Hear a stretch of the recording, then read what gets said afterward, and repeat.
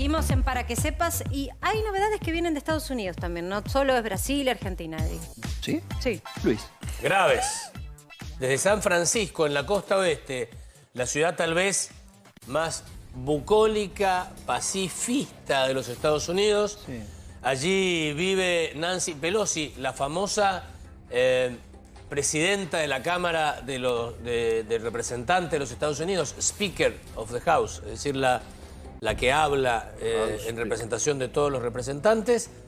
Fue su domicilio invadido por un desconocido, por el señor David de Pape. David de Pape, a las 2 de la mañana, entró con un martillo.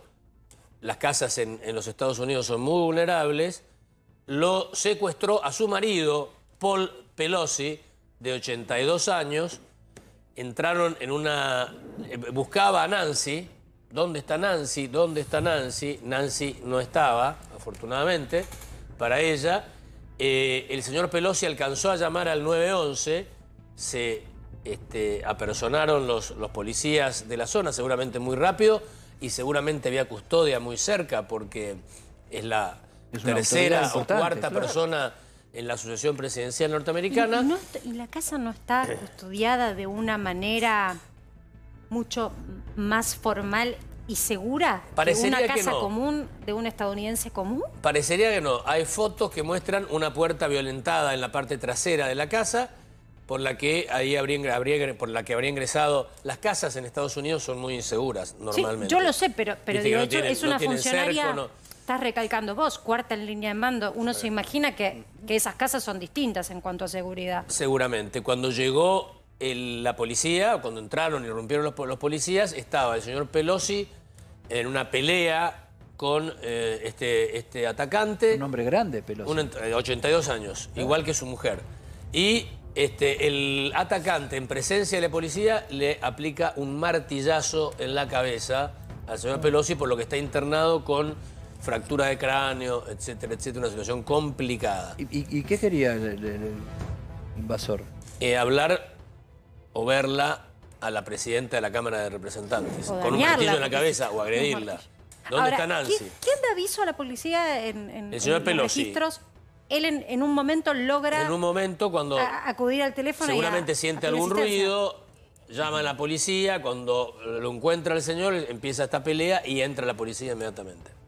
Estamos... Es- eh, es- no, pensaba en el vincular el tema de la seguridad, lo que fue acá el intento de homicidio de Cristina Kirchner. Sí, por eso.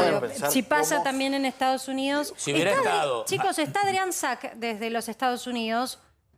¿No está conectado todavía? Ah, yo pensé que estaba Adrián ya. Bueno, acordate que Nancy Pelosi este, fue tal vez la mujer más impactante de la Tierra hace pocas semanas cuando Eso ella, te iba a preguntar. en un desafío, dijo voy a aterrizar en Taiwán y los chinos dijeron ese avión lo vamos a bajar si aterriza en Taiwán. Aterrizó Tensión, en Taiwán tensión total. Taiwán. ¿Puede tener que ver con esto o no, o no hay ni la menor idea? No, hay- no existe la menor idea. Porque Tiene- también allá hay mucho loco que hace estas cosas y no se entiende bien por qué. Tiene pero más que ver con la elección. Hay que tener en cuenta que hay clima preelectoral en los Estados Unidos.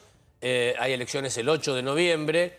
Todo parece indicar que el partido de la señora Pelosi, que es el partido del presidente Biden, va a recibir una- un castigo importante en las urnas, una derrota ahí importante. en vemos, las ahí urnas. vemos cómo es lo, lo que dice Luis, ¿no? Esto que son vulnerables las casas, fáciles de acceder, esa es la puerta rota por donde entró esta persona. La puerta trasera, ¿no? Rompió, rompió el vidrio con el martillo directamente Con y se el mandó. martillo, claro. Pero viste que en las películas lo hemos visto y los que hemos vivido o estado en Estados Unidos, tenés la experiencia, las casas están sin llave en general, puedes entrar y salir por cualquier puerta, no hay cercos que te dividan de la casa de al lado. En general es muy fácil entrar y salir de una casa norteamericana. Ahora, se supondría que la casa de Nancy Pelosi debería tener una seguridad adicional. Claro. Se supondría. Mínimamente.